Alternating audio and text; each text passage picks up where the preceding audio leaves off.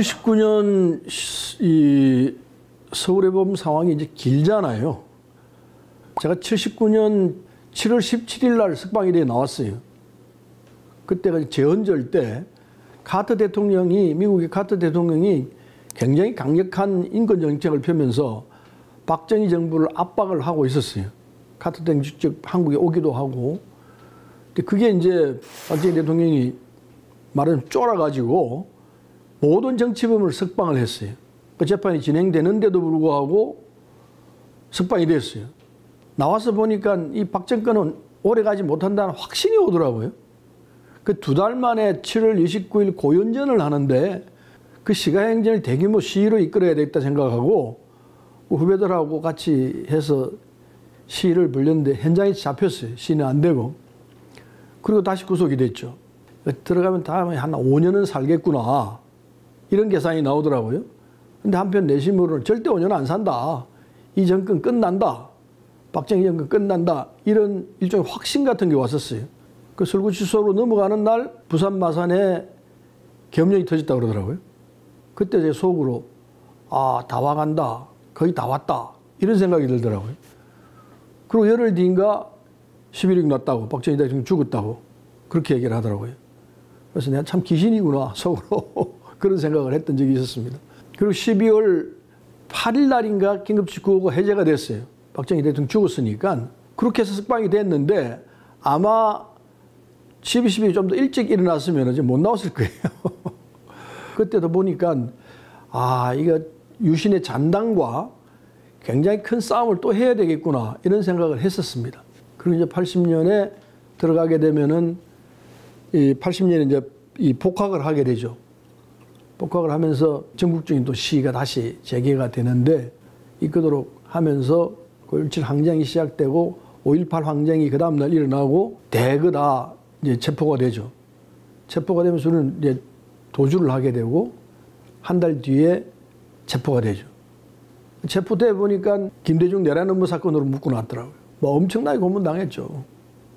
그 과정이 이제 이 서울의 법무에 있었던 내용들이 저 중심으로 압축을 시키면 그런 내용이 될 것 같습니다. 어, 사실은 이 김대중 대통령을 처음 만난 거는 법정에서였죠. 제가 잡힌 게 80년 5.17 나고 한 달 뒤에 6월 18일인가 체포가 됐습니다. 한 달간에 있었던 상황을 다 알고 있었죠. 광주에서 어떤 처절한 일이 벌어졌고, 그리고 그 처절한 항장을 국민들에게 알려야 되겠다 생각을 하고, 세 차례에 걸쳐서 시위를 했었어요. 도피 중인 이제 후배들을 모아가지고 영등포 시장에서도 시위를 하고 그 다음에 성수동에서 마지막 시위를 할 때 성수동에서 했는데 그래서 이제 잡히기 시작해가지고 결국 6월 18일 날 잡혔는데 잡혀서 보니까 뭐 다른 건 묻지도 않아요. 막 고문을 해야 되는데 뭐 묻지도 않고 고문을 해요. 고문을 하는데 나중에 하는 얘기가 김대중 언제 만났느냐 이 얘기예요. 뭐, 뭐 이름만 들었지 본 적도 없었으니까 TV를 통해서는 봤지 아, 만났다 하면 소용없죠. 이막 고문을 해야 되니까 만났다 해야죠. 그래서 뭐 돈 얼마 받았느냐. 돈 뭐 만난 적이 없는데 돈을 어떻게 받습니까? 그 사람 들이 불러주는 대로 이제 받아 했죠. 김대중 대통령을 만난 적이 없기 때문에 설마 공범이 될 거라는 꿈에도 생각 안 했어요. 서울구치소가 있는데 바로 저 공소장이 날라왔더라고요. 아주 이례적이에요. 사흘 만에 왔더라고요. 보통 한 한 달 있으면 공소장이 날라오는데 사흘 만에 날라왔어요. 그 내용을 보니까 김대중 내란 음모 사건이 책이 한건 책이 공소장이 24명의 이제 공범이 있고 제일 먼저 이제 김대중 이래서 보니까 왜 이렇게 내가 왜 이, 이분하고 같이 공범이 되나 아무리 고문을 했지만 만난 적이 없는데 그리고 공소장을 보니까 이게 제가 그때 이제 두 번째 세 번째 어, 진입을 사는 처지였기 때문에 대충 보면 다 내용을 알죠 아 이분 사형시키려고 들구나 사형을 시키겠구나 이런 생각이 들더라고요. 광주에서 워낙 많은 사람들이 처절하게 돌아가시고 학살을 했기 때문에 충분히 사형을 시킬 수 있겠구나 이런 생각했죠. 그리고 이제 법정에 섰는데 처음 만남입니다. 우리 이제 24명인데 23명이 앉아 있고 군사법정이죠. 처음 시장 군사법정이었습니다. 하고 맨 마지막에 이제 김대중 대통령이 한 병 둘이가 양쪽을 딱 양쪽 각각 한 명씩 해서 이렇게 뭐 나오는 거예요. 그때 그 참, 그 처음 이제 뵙는 건데, 법정에서 그것도. 그 처절한 모습이랄까. 평생 안 잊어질 것 같아요. 아무런 표정이 없는데 그 표정 속에서도 굉장히 슬픈 것 같기도 하고, 굉장히 화가 난 것 같기도 하고, 한 그런 표정으로 이게 떡떡떡 걸어 나오시더라고요. 그리고 이제 이 맨 앞자리에 이렇게 앉으시고, 그리고 사진을 찍는데 그 중요 인사 중심으로 김대중 대통령 가운데 두고 이제 무리칸 목사 뭐 이문용 교수 이 고은 선생 예천호 선생 뭐 이런 분으로 쭉 사진을 찍고 그리고 이제 흩었어요. 우리 대통령 계시면 내가 바로 뒤에 앉아서 앉게 되더라고요. 한 10cm 차이. 그 꼭지만 쳐다보면서 있었죠. 그때 제가 처음 이제 이 그 공소장을 받아보고 했던 결, 결, 결론이 뭐였냐면은 도대체 김대중이라는 분이 어떤 분이길래 양반을 죽이려고 들까? 아무런 잘못이 없는데 그 광주에서 그렇게 많은 사람들이 돌아가셨는데도 불구하고 또 이분을 죽이려고 들어? 그렇다면 이번 재판 목표는 김대중이라는 분이 어떤 분인지 관찰하는 게 내 목표다 이렇게 딱 정했어요. 그리고 묘하게 딱 뒤에 앉았어요. 그 뒤만 쳐다보면서 계속 뭘 하시냐 그리고 한 두 달 가까이 재판을 했는데 어때 처음에 우리 김대중 대통 발동이 좀 늦게 걸리세요. 처음부터 막 나가는 스타일이 아니고 처음에는 이렇게 천천히 가시다가 나가면서 속도가 붙으셨으면 이제 원래 실력이 나오시는데 김대중 내란나무 사건 첫날 묵비권을 행사하고 둘째 날부터 이제 재판을 응하기는 했는데 그 지도력을 발휘 안 하시더라고요. 사흘 전 때부터 지도력을 발휘하시는데 문익환 목소 제외 그냥 쟁쟁한 분들이지 않습니까? 근데 다 따라가요. 워낙 합리적이고 상, 황을 정리를 해 나가시니까 1심 재판을 끝나기 직전에 선고하기 직전에 최후 진술을 하시는데 나머지 23명이 다 최후 진술을 했죠.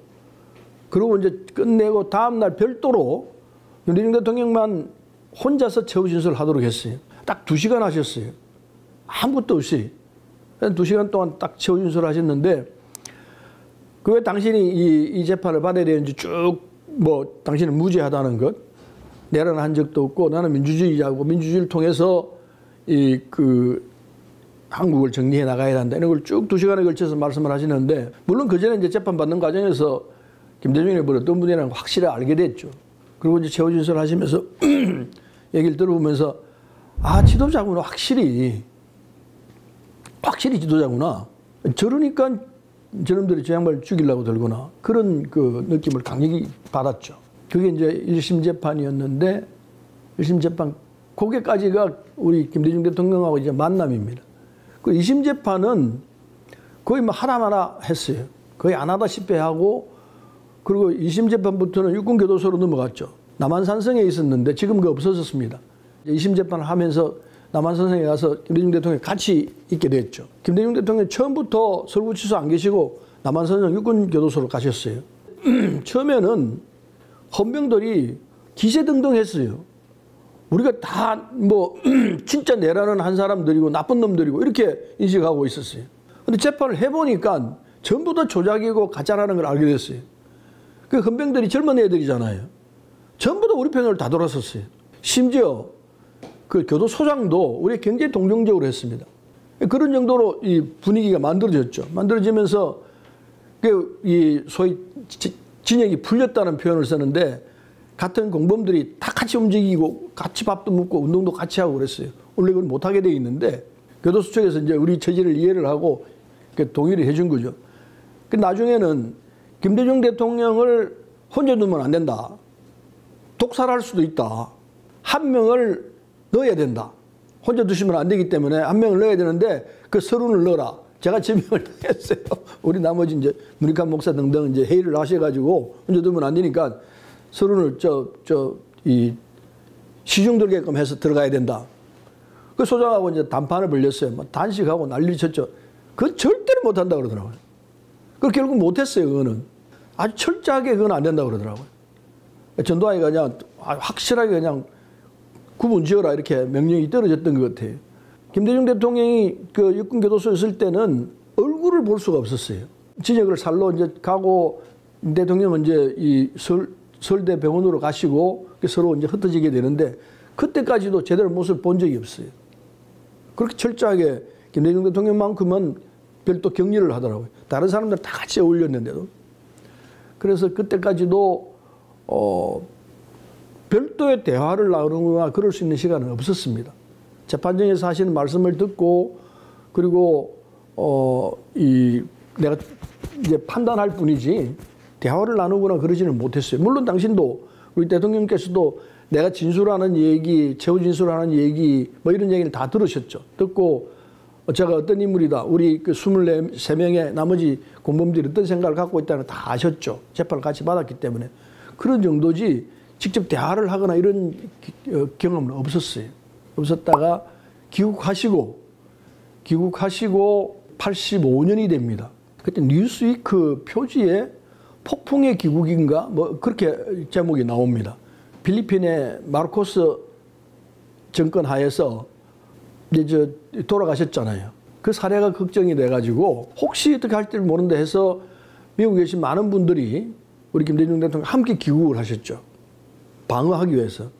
근데 다행히 그런 사태는 일어나지 않고 그 과정에서 김대중 대통령을 보기 위해서 김포공항에서부터 동교동까지 수많은 사람들이 길에 서서 구름같이 모였고 저도 물론 동교동 앞으로 갔죠. 하는데 뭐 사람들이 뭐 치여가지고 딱 보지도 못하고 그랬는데 그렇게 들어오시고 4월 85년 4월 1일부로 연금이 풀립니다. 연금이 풀리면서 내가 비서로 들어가게 되죠. 문익환 목사가 김대중 대통령을 그냥 두시면 안 되기 때문에 김대중 대통령과 우리 제야 세력을 다리를 놓는 역할을 자네가 가서 해야 된다. 그럼 비서진으로 들어가서 비서로 역할을 해라. 그리고 제가 이제 비서실로 들어가게 되죠. 그때부터 직접 이제 모시게 되었습니다. 재판 과정에서 처음으로 김대중 대통령을 만나게 되고 그게 뭐 제 운명처럼 된 거죠. 그때 이제 전체 현장에 다시 들어오게 되고 그리고 오늘까지 계속되는 이런 삶을 살았던 것 같습니다.